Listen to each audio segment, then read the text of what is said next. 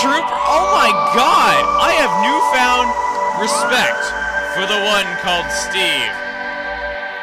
Steve, you're a freaking trooper. You were staying there, sacrificing your life into the hours of the night. Hello! My name is Twig! The Red Pikmin! Hello! Um, as Twig the Red Pikmin, I'll be the narrator for this, for some of the parts.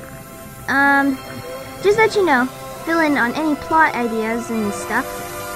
Uh, it has been a few years since, um, Olimar's last visit to the planet of the Pikmin, and many Pikmin have evolved to be very, very intelligent, including me and my best friend Pikpik. This is me the story of us living on a different planet.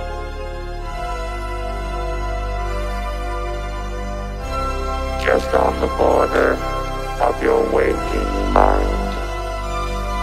There lies another time where darkness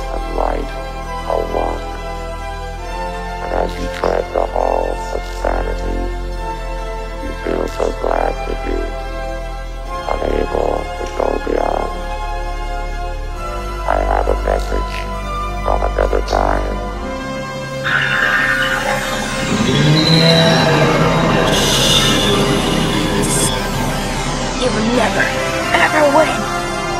We like fail all the time.